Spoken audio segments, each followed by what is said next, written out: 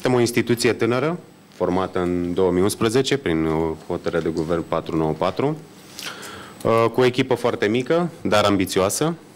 Uh, provocările noastre principale în momentul de față sunt directiva NIS și implementarea ei, transpunerea prin legea 362 pe 2018. Uh, încercăm, trecem printr-o etapă de transformare. Conform legii, ar trebui să fim autoritate, punct unic de contact și XIRT la nivel național. Uh, suntem în discuții și în dezbateri uh, cu Consiliul uh, Europei privind dezvoltarea resurse umane și a capacității de găzduire a Centrului European de Formare pe Securitate Cibernetică. Comisia Europeană. Consiliul. Consiliul Europei? Da. E vorba ca în uh, următorul exercițiu, președinta, noua președinta a Comisiei da. spune că se va crea un centru în România. Despre da, acel despre centru, acel vorbiți, centru da? vorbim, da. Și va fi un centru unic pentru Europa? Da, da. Ok. O veste bună. O veste bună care va atrage într-adevăr niște competențe. Probabil că veți avea și colegi uh, europeni. Exact, exact. Uh, momentan noi, privind uh, transpunerea directivei NIS, cam asta ar fi uh, planul nostru principal de lucru, sunt foarte multe de făcut. Uh, am definit cele șapte sectoare, sănătate, transport, banking, instituții financiare, apă potabilă și energie. Sectoare critice. Întrebări dacă există pe zona de securitate din partea mai multe detalii despre numărul acela scurt, care deja ar trebui să intre în conștiința publică, acest element ajutător, număr direct, scurt, pentru diverse situații. Chiar dacă unele dau fail, vezi un 1, 2 acum, ca așa, moment de criză în uh, societatea românească, cred că toate aceste numere scurte trebuie uh, aduse la cunoștința publicului și înveterat că ele sunt folositoare de la un punct încolo. Pentru asta însă e nevoie de un efort de conștientizare, adică folosirea mass media uh, la maxim. Dar Ce nu, înseamnă dar numărul nu când acum, a fost? Nu ca acum. Nu ca Altfel. acum. Preemptiv. Da? Ce înseamnă numărul dumneavoastră pe partea de securitate, când a fost, cum a fost creat și ce oferă? Uh, acest număr uh, scurt uh, pentru urgențe referitoare la incidente, atacuri și vulnerabilități în zona securității cibernetice a fost gândit în cadrul unui proiect EXI pentru interoperabilitate în securitate cibernetică. Totodată vine în complementar și directiva NIS care presupune asigurarea unui suport permanent 24 din 7 în ceea ce ține zona de securitate cibernetică și e venit să răspundă la absolut toate nelămuririle problemelor care vin din zona aceasta de incidente sau atacuri în uh, zona de securitate cibernetică, atât privată cât și, și publică. Va fi un număr uh, european? Adică toate țările vor folosi acest nu, număr? Nu, nu, nu, nu. Deci nu va deveni ca un număr 1, național. 2. Nu. Ca și strategie asigurarea perimetrului 1, 9, 1 și 1. Ah, interesant. Da, deci are o, are o logică. Da. Deci patru cifre, 1, 9, 1, 1, 1. Da, Perfect. Are capacitate logistică pentru a răspunde tuturor stakeholderilor, adică pe toate nivelurile sau numai la, la nivelul de, de incidente de tip uh, Dacia Pitești? Renault, mă rog. Acum, în funcție de clasificarea incidentului, pentru că dacă vorbim de cybercrime, nu intră în competența noastră, noi facem demersurile necesare către autoritățile abilitate în acest domeniu. Uh, dacă intră sub incidența GDPR, iar ne ducem către autoritățile care reglementează domeniul. Ceea ce ține de noi, și mă refer, nu știu, atacuri de tip ransomware, phishing sau așa mai departe, noi le luăm, le analizăm și încercăm să vedem. Na, CERTRO oferă, în, uh, conform hotărârii de guvern, trei, uh, trei servicii mari, pentru asta a fost creat, prevenție, reacție și suport. Prevenția și reacția o oferim, cât și suportul o oferim și prin uh, răspunsul la aceste apeluri venite pe numărul de urgență. Și aveți zilnic apeluri? sau? Avem zilnic apeluri, da. Sunt... Și, și procentul de rezolvabilitate este mare sau cum? Procentul de rezolvabilitate în momentul de față, având în vedere că numărul de-abia este lansat și problemele sunt relativ minore, da, este foarte mare de, de rezolvat. În platourile mele au ajuns uh, cel puțin trei firme românești care uh, angajează din piață copilași tineri, hai să le spunem ca Recru- să fim uh, recrutează, diplomatic. Recrutează, da, recrutează, bravo. Uh, care au avut oarește antecedente și uh, s-au oprit la timp sau au fost opriți la timp și convinși că nu ăla e drumul frumos al vieții lor, ci altul. Uh, poate că și cer punctul identifică uh, în piață astfel de lucruri și la stat vom avea oameni angajați, oameni cu competență înaltă pe anumite subiecte, însă mai e nevoie de un element.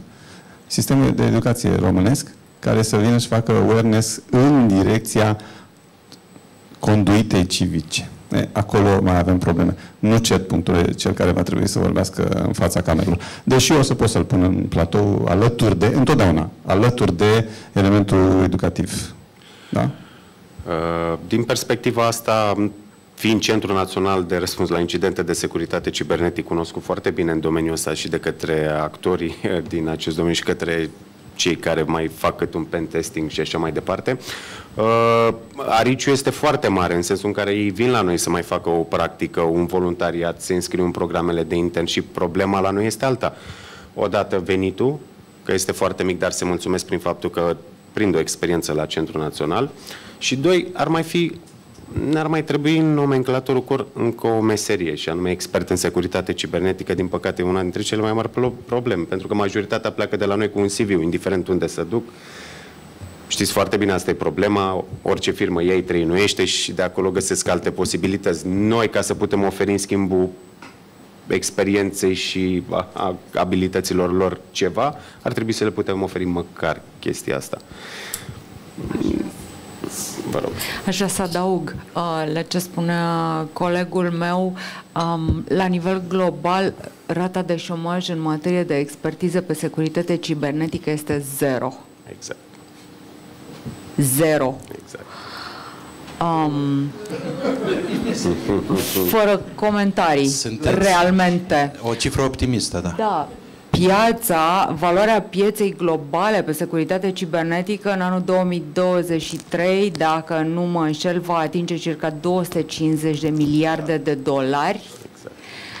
Um, bani investiți cu o rată de creștere de două cifre anuală, bani investiți având ca triggers, ca factor de influență modificarea legislației în materie de securitate cibernetică creșterea complexității sistemelor care sunt utilizate și inevitabil creșterea diversității gamei de amenințări cibernetice. Deci este un sector cu o dezvoltare exponențială pe măsura uh, dezvoltării uh, tehnologiilor și a digitalizării.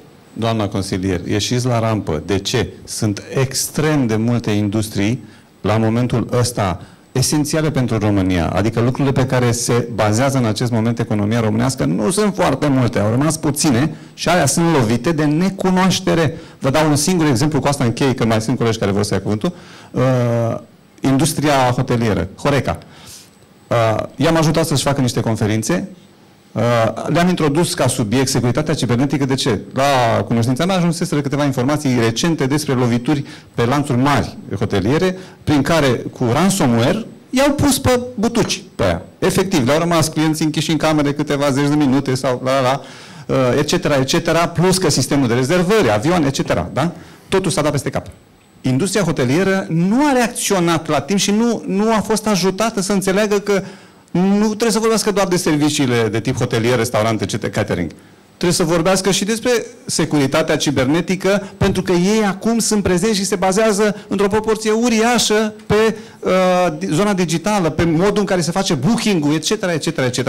Adresați-vă și celorlalte uh, industrii care până acum nu conștientizau faptul că încep să depindă de digital, să depindă. Deci, dau faliment. Știți Para... de ce? Pentru că nu înțeleg valoarea informației ca activ exact. al firmei nu înțeleg valoarea informației care trebuie stocată, prelucrată, valorificată, este intangibilă și își menține valoarea în timp. Vă rog, doamnă Neagu. Tocmai pentru ca să ilustrăm, încerc să ilustrez și din punct de vedere al sistemului energetic oarecum. Acolo securitatea trebuie să fie... domenii, ați spus domeniile, vreo 5-6 domenii sunt care... șapte sectoare sunt critice. sectoare critice. Bun. Și energia intra acolo. Da, evident. Uh, puteți să ne faceți de când funcționați așa, procentual, cam câte apeluri ați primit la numărul dumneavoastră pe do- aceste domenii critice și cam cât a fost energia? Statistic, Statistic, vorbind, așa. s- foarte puține apeluri care vin exact din zona asta, mai multe vin din, spre exemplu, nu știu, s-a furat o parolă sau uh, multe apeluri le primim și din zona persoanelor fizice care au probleme personale, în sensul în care, nu știu, au un site și uh, un atac de timp ransomware le-a criptat datele și uh, momentan fiind la început, nu am primit foarte multe apeluri din zona, Deci și asta din zona spune energiei. ceva. Zona Econo- instituțională. Zona instituțională, zona economică nu apelează, nu, s- da? Nu e Noi cu educată, zona- nu știe, Noi cu probabil. zona instituțională facem foarte multă conștientizare. Avem foarte multe campanii de conștientizare și prezentare de ultime soluții și de ultime bă, instalații de tip hardware, ghiduri. Reacția, da, mă, mă interesează foarte mult pentru că uh, spune ceva nu numai despre uh, instituțional, dar de- și despre privatul din acele domenii. Deci, uh, toate instituțiile private care uh, lucrează în domeniu și în sectorul energetic sunt producători independenți de energie, sunt uh, care vă garantez că au Operatori probleme. de servicii esențiale, să-i sunt, numim. vă garantez că au probleme. Evident. Și de-aia vreau să știu dacă au sunat vreodată, dacă știu sau... Asta era întrebarea.